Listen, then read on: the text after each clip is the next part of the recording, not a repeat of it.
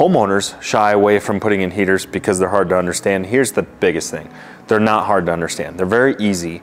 It's just kind of hard to wrap your brain around it, so to speak. So we essentially have like the slimline single element model here, and this comes in different widths. And then we have the CD or the dual element models, and this also comes in the different widths. Now the reason we don't want a CD60 at eight feet is one, I can feel this. I'm 6'3". If this was at eight feet, um, we're gonna have a home alone situation and we're gonna have to be dunking our head in the toilet because our head's gonna be on fire, all right?